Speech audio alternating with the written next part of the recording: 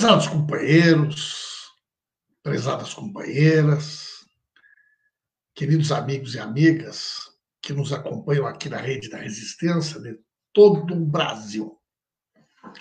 Sejam muito bem-vindos, sejam muito bem-vindas. Vocês sabem como eu valorizo, né? como é importante para mim a presença de cada um e de cada uma de vocês. Afinal de contas, a rede da resistência existe graças a vocês.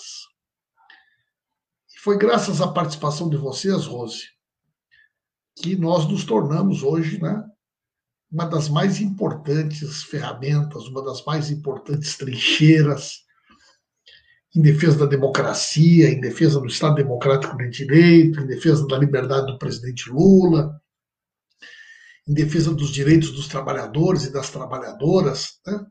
Da nossa soberania. Tudo isso para nós é muito bom, gente, é muito importante. Né?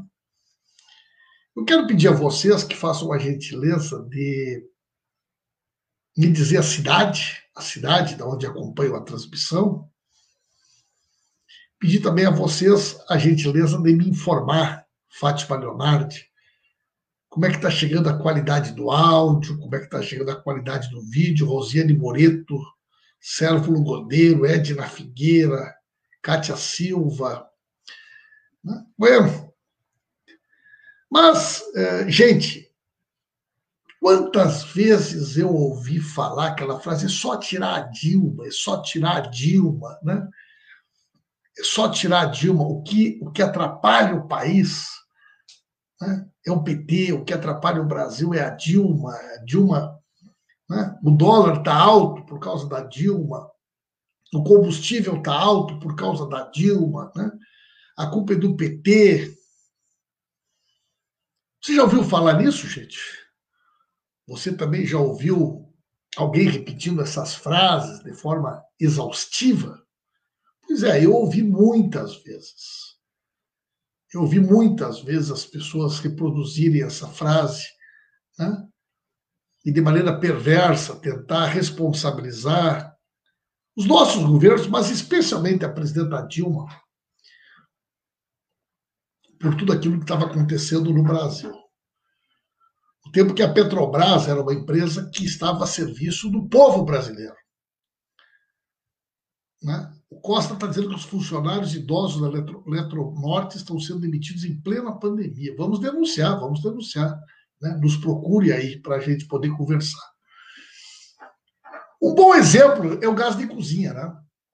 O gás de cozinha, durante boa parte do governo né, da Dilma, o gás de cozinha estava 23, 23 reais. Praticamente o gás de cozinha não mudou de preço. 23, 25 reais, né? durante todo o governo da presidenta Dilma. Durante a campanha eleitoral, surgiu um boato, surgiu um boato de que Paulo Guedes, que o, que o Bolsonaro queriam dolarizar o preço do gás, o preço da gasolina, o preço do combustível, e isso teria um impacto muito grande no valor das coisas. Porque o salário do povo brasileiro, a aposentadoria do povo brasileiro, não é dolarizada. E o Bolsonaro, gente, o Bolsonaro, cara de pau como ele é, ele fez uma postagem dizendo: olha, os PT estão espalhando aí se, que se eu ganhar a eleição, o preço do gás vai disparar.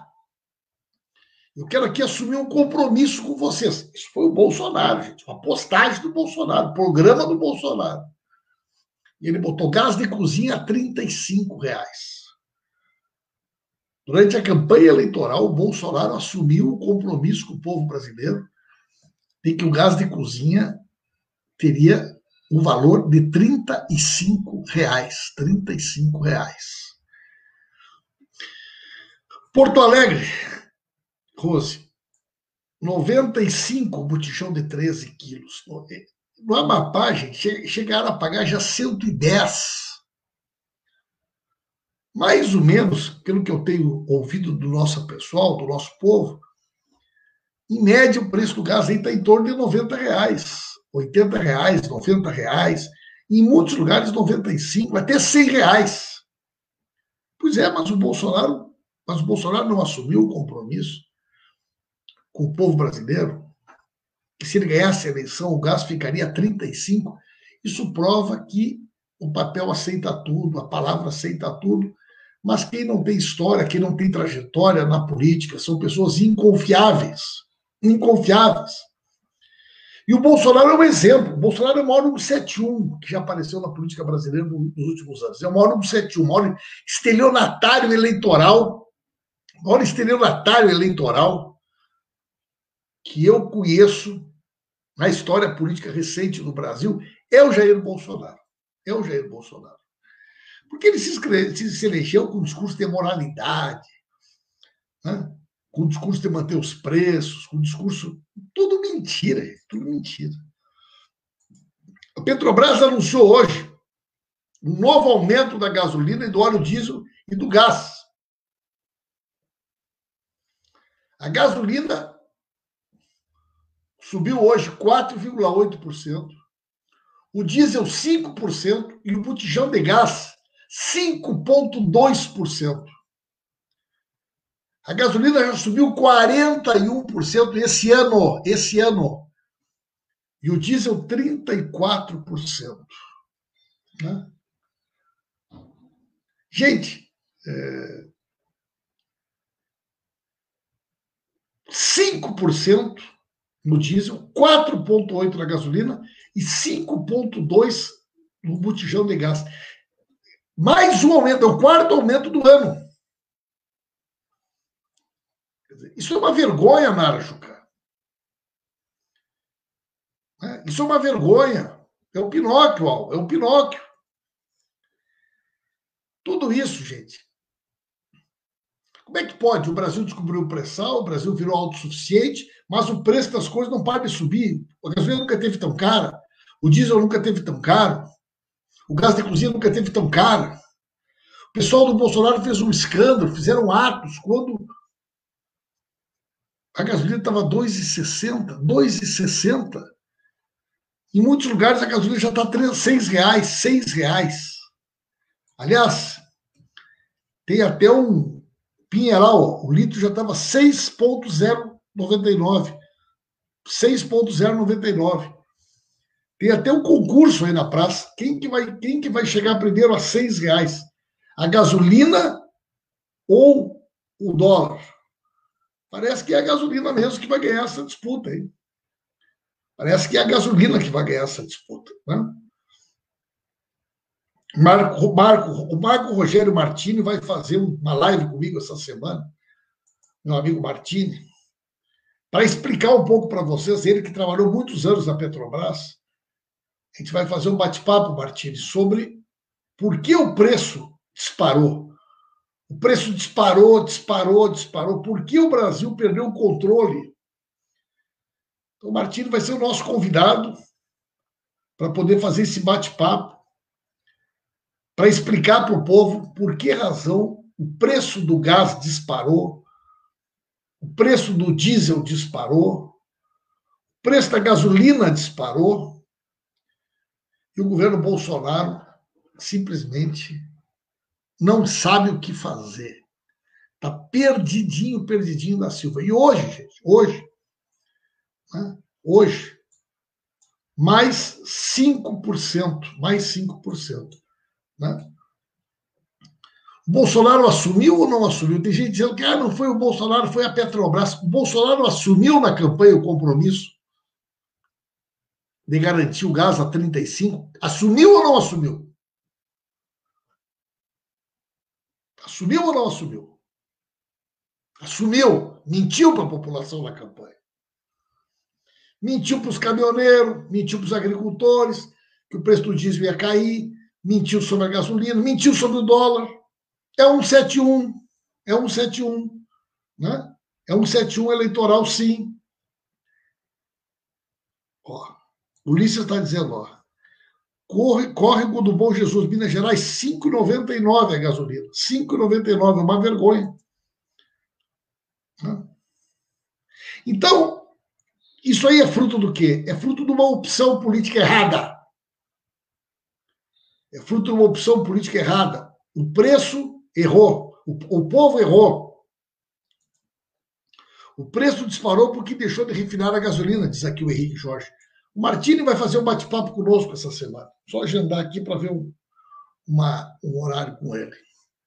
Agora, o que prova, o que tudo isso prova, é que na política, a demagogia, a hipocrisia, gente, isso nunca dá certo. Mas só quem não conhecia o Bolsonaro para acreditar naquela quantidade de bobagem que ele dizia na campanha eleitoral. Gente.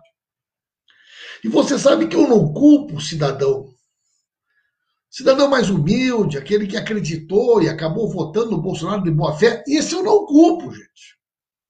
Eu culpo é o cara da mídia, o que sabia que sabia quem era o Bolsonaro e mesmo assim escondeu da população e tentou dourar a pílula.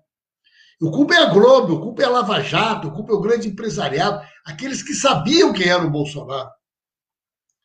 Mas que diante do ódio de classe, diante do ódio de classe, diante da possibilidade da vitória do Haddad, preferiram entregar o Brasil para o Bolsonaro. E não veio aqui agora pintar de, de, de, de, inocente, pintar de ingênuo. Sabiam quem era o Bolsonaro. Sempre souberam quem era o Bolsonaro e fizeram uma opção. Fizeram uma opção. Não? Quem não deu like aí, deu like. Quem não curtiu, pode curtir. Quem ainda não me disse a cidade, de onde acompanha a transmissão, me diga a cidade. Tá aí, gente. Hoje, mais 5%, 5% no gás, 5% no diesel, 5% na gasolina. O Edivaldo está dizendo, o Edivaldo, ó, aqui é onde moro, moro, moro. Eu já leio Moro, aqui, aqui é onde moro. Tá? 5,60 e o diesel 4,63. O diesel 4,63. Né? Olá, Júlia Trevisan, Faxinal do Soturno. Como é que está o preço do gás? Aí, Faxinal do Soturno, Júlia. Como é que está o preço do, do diesel? Como é que está o preço da gasolina? O Nabi Rodrigues pergunta: Você tem ódio do Bolsonaro? Eu não tenho ódio do Bolsonaro. Eu não tenho ódio do Bolsonaro. Eu tenho pena do povo brasileiro. Eu tenho pena do, do Bolsonaro. Eu não tenho, Nabi, eu tenho desprezo pelo Bolsonaro. Ora, se eu vou, se eu vou sentir, a Júlia Trevisan está dizendo que 85 gatos na faxinal. Olha se eu vou ajudar, olha se eu vou sentir ódio do Bolsonaro, rapaz. Eu fui deputado 16 anos com o Bolsonaro. Eu conheço o Bolsonaro. O Bolsonaro é um cara medíocre, um cara, um cara ressentido, um cara de mal com a vida, um cara infeliz, um cara mal resolvido em todos os campos da, da, da vida social, afetiva, política. Como é que eu vou ter ódio de um cara desse, gente? Eu tenho desprezo, eu tenho pena. E, e, e não vou inventar, não vou mentir. O fato dele ser presidente da República acaba fazendo com que eu tenha que passar por aquele negócio de, de vergonha alheia, né, gente? De vergonha alheia, Atos. Né? O Atos está dizendo, no Sul, geralmente os combustíveis são os mais caros do Brasil. Obrigado, Atos. Deve ser pelo frete Deve ser porque nós não temos, né, uh, não temos petróleo no Rio Grande do Sul, não temos petróleo no sul do Brasil, né? Obrigado, Júlia. Um abraço para o Luiz Trevisan, o homem que faz a cabeça do povo de Faxinal do Soturno e da Quarta Colônia. Ele que é cabeleireiro. É o cabeleireiro né, mais famoso de Faxinal do Soturno e da Quarta Colônia.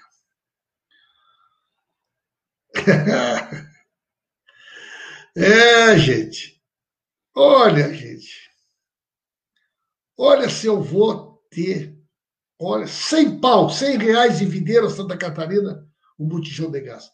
Olha se eu vou ter ódio do Bolsonaro. Eu tenho mais o que me preocupar. Eu tenho desprezo. Sabe por quê, gente? O meu lugar, ódio faz mal para o fígado, faz mal para a alma, faz mal para o corpo, né? Olá, Zé Everton. Pelotas. Como é que está, meu amigo Zé Everton? Grande nome da cultura santamariense, que hoje está lá em Pelotas. Gasolina em Ribeirão Preto, R$ 4,99. Está bom o preço. Ribeirão Preto deve ter também aí o impacto da questão do etanol, né? Leomar Fiuza, grande Paulo Pimenta, Arroio do Tigre, tudo bom, Leomar? Videira, 100 reais. Mais um ajuste hoje. Eu tenho a impressão que Ribeirão Preto, ali, porque tem a composição forte do etanol na gasolina, né? E eu acho que nessa região aí o etanol deve ser um preço menor, é uma produção forte de, de etanol nessa, nessa região toda, né? É, Novo Hamburgo está na lenha, Jorge Frentes está mais caro que o fogão, só no fogão a lenha. Muita gente cozinhando com lenha, muita gente cozinhando com carvão e muita gente esquentando comida com álcool, com álcool na, na, né? é, os preços dispararam. Sabe aquela música? O homem disparou, disparou, disparou. Pois agora é, é o preço disparou, disparou. O gás disparou, o diesel disparou, a gasolina disparou. Né? Então, isso aí, gente, mostra que votar errado sai caro. Votar errado sai muito caro para o povo brasileiro. A gente paga um preço muito alto, gente, quando vota mal. E a crise econômica, a crise sanitária, a crise política se agrava cada dia, José Fernando, para São Leopoldo. E o povo olha para frente, enxerga o Bolsonaro e se desespera. Se desespera, né? Porque não consegue acreditar. Olha, a Rose está tá no fogão a lenha ou a gás. A Rose está fazendo mix. Um pouco, a, um pouco no fogão a lenha, um pouco no fogão a gás. Né? É, Ribeirão Preto, Casa de cozinha 98, 98, estava 22 com o Lula, 23 com a Dilma. Então é isso, gente. É isso, tá bom? Queria divulgar para vocês mais esse aumento absurdo do preço do combustível. Isso é a, isso é a cara da hipocrisia, o cara do, a cara do deboche, a cara do desprezo pela verdade, que é uma marca do governo Bolsonaro. É uma marca do governo Bolsonaro. Um grande abraço para vocês. Mais tarde eu volto.